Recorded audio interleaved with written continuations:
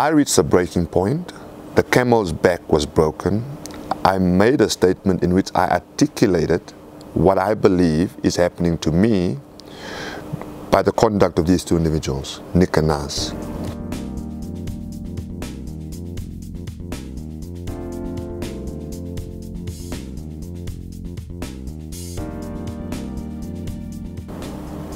They infringed my dignity.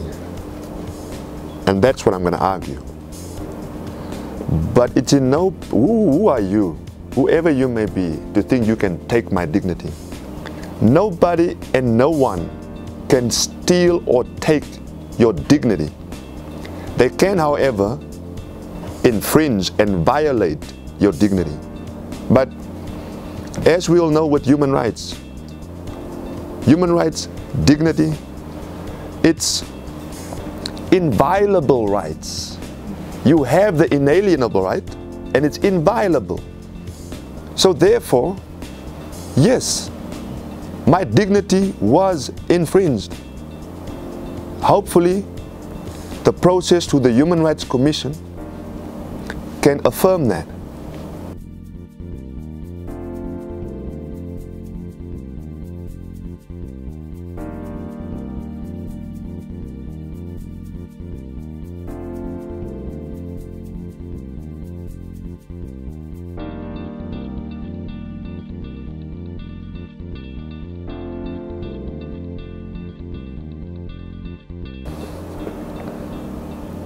I was surprised by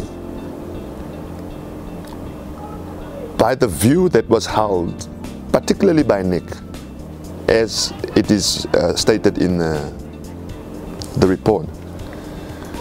But what shocked me was the communication that was had at the time in 2016. We are now in 2018 now I'm wondering, so what has been happening without my knowledge about me at work at Supersport, and yet I see these beautiful smiles in front of me all day. You know? So I'm saying if you're gonna feel that way about a person, have the backbone to say it. Unbeknownst to me, there was an opinion formed about me that was never shared with me. Not by Supersport, not by Nick, not by Naas, if he was privy to that as well. So personally, I, I have never had a need to label them as anything. I wish life was as easy as a moment in time. I wish life was as easy as a moment in time.